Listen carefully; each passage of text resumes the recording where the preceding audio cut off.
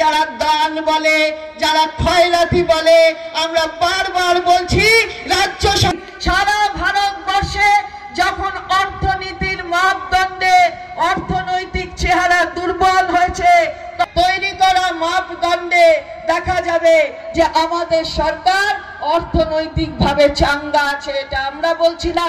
GDP যখন নিচে, GSDP তো পাঁচশো টাকা, হাজার টাকা, যাই পান না কেন আপনি নষ্ট করেন না, আপনি সেটা কাজে লাগান। আর বাজারে সেই টাকা যখন ঘোরে, তখন আমাদের অর্থনীতিটা বিয়ে তো হবেই, স্বাভাবিক নিয়মে হবে। বিয়ে না হলে তো সমাজ তৈরি হবে না, সৃষ্টি হবে না, বিয়ে হবে। কিন্তু গরিব মানুষের বাড়িতে যখন বিয়ে হয় তারও করেছেন রূপশ্রীর টাকা দিয়ে। এটা ওরা বুঝবে না। না ভাষায় কটুক্তি করে। দুয়ারে সরকারকে কি বলেছিল? জমে বলছিল, হাজার টাকা, পাঁচশো টাকা, অন্যেরা অনেক আঙুল দেখিয়ে নানা রকমের কটুক্তি করছে। আসলে মেয়েদের সম্মান দেওয়ার কথা তারা ভাবে না। তাই এই কটুক্তি তার জবাব দিতে হবে আমাদের। পাঁচশো হাজার টাকা মানেটা কি? মানে হচ্ছে আপনার হাতকে শক্তিশালী করা। পাঁচশো হাজার টাকা মানে আপনার ইচ্ছা পূরণ। আপনি ইচ্ছাটাকে পূরণ করতে পারেন। আমার সব সময় যখনই বলি তখন যখন ছোট ছিলাম তখন বাবার প্রযত্নে আমরা ছিলাম। কেয়ার অফ বাবার কেয়ার অফে আমরা ছিলাম। তারপর আমরা যখন একটু বড় হলাম, বিয়ে হলো, স্বামীর কেয়ার অফে আমরা ছিলাম। আমাদের আপত্তি নেই। বাবার কেয়ার অফে থাকতেও আপত্তি ছিল না, স্বামীর কেয়ার অফে থাকতেও আপত্তি ছিল না। আবার আমার ছোট ছেলেটা যখন আমার এই উচ্চতাকে ছাপিয়ে গিয়ে লম্বা হয়ে গেল, তখন তার প্রযত্নে আমার চিঠি আসে। আমার তার প্রযত্নে থাকতেও কোনো অসুবিধা নেই।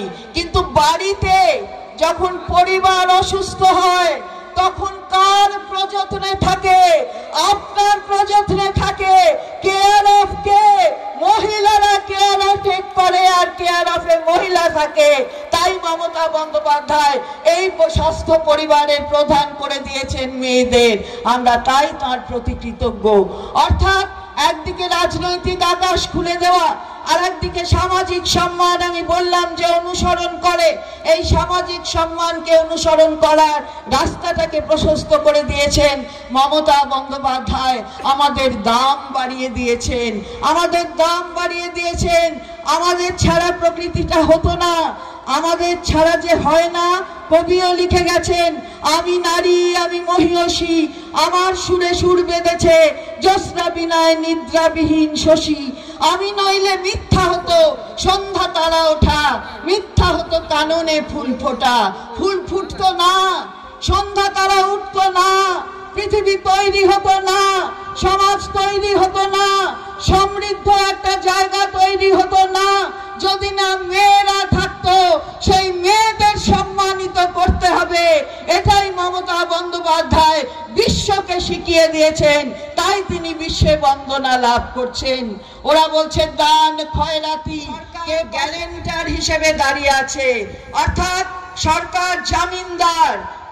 সরকার বলছে, তোমায়, তোমার খোকার বাবাকে বাড়ি বন্ধক দিতে হবে না। খোকার বাবাকে পড়াতে গেলে খোকাকে জমি বন্ধক দিতে হবে না। আর একই সাথে ওই স্টুডেন্টস ক্রেডিট কার্ডের সুবিধা খুকুও পাচ্ছে। খুকুর বাবাকেও বন্ধক দিতে হয় না। খুকুর বাবাও জমি বন্ধক দেয় না আর বাড়ি বন্ধক দিতে হয় না students credit card Mamata Bandyopadhyay খুকুকেও তার পড়াশোনা চালিয়ে যাবার জন্য দিচ্ছে। বলছিল স্বাস্থ্য সাথীর কথা।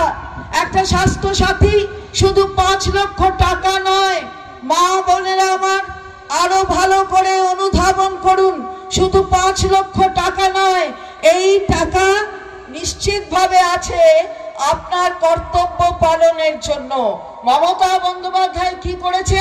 দুটো পরিবারকে এক করে দিয়েছেন। শ্বশুর বাড়ি আর বাপের বাড়ি। দুটো এক হয়ে গেছে। আমাদের নিশ্চিতভাবে দায়িত্ব আছে স্বামীর প্রতি, শ্বশুরের প্রতি, শাশুড়ির প্রতি, সন্তানের প্রতি। কিন্তু আমাদের বুঝি গর্ভধারিণীর প্রতি আমাদের কোনো দায়িত্ব নেই। আমরা যার ঔরস জাত সেই বাবার প্রতি বুঝি আমাদের দায়িত্ব নেই। মমতা বন্দ্যোপাধ্যায় বললেন, তোমাদের দায়িত্ব আছে যেমন শ্বশুর বাড়ির প্রতি তেমনি বাপের বাড়ির প্রতি তাই বাপের বাড়ি আর শ্বশুর বাড়িকে এক করে দিয়ে মমতা বন্দ্যোপাধ্যায় বলে দিলেন স্বাস্থ্য পরিবারের প্রধান হবে মেয়েরা। মেয়েরা আজকে স্বাস্থ্য পরিবারের প্রধান। এই যে বলছিল সাবিনা একটু আগে আমিও এই কথাকে আবার যে আগে ভাঙন আগে রোধ করুন তারপরে আমরা আবাস যোজনা ঘর নেব। কি বলবেন দিদি এই বিষয়ে? না না ঠিক কথাই তো বলেছেন কারণ ভাঙন তো রোধ করবার যেগুলো কাজ করার দরকার যেখানে কেন্দ্রীয় সরকারের ভূমিকার একটা বড় জায়গা আছে সেই কাজগুলো তারা করেন না। ফলে মানুষ ক্ষোভ দেখিয়েছে। মহিলার আসন সংরক্ষণ কি বাড়াবেন? এবারকার পঞ্চায়েত নির্বাচনে ওটা আপনাদের করে বাড়ে না। ওটা একটা আইন দিয়ে বাড়াতে হয়। তা আপনি এখনই বললে এখনই বেড়ে যাবে না, আপনাদের দলের পক্ষ থেকে। চান পঞ্চাশ শতাংশ বাড়াতে? আপনি তাহলে পঞ্চাশে থাকবেন কিন্তু আরও কমে যাবে। সুতরাং সুতরাং আপনি কি চান তার উপরে নির্ভর করবেন আর কি হবে পঞ্চাশ আমাদের আসলে মহিলাদের একত্রিত করে কি বার্তা দিলেন? পঞ্চায়েত বলে নয় আমরা সহায়তা করছি।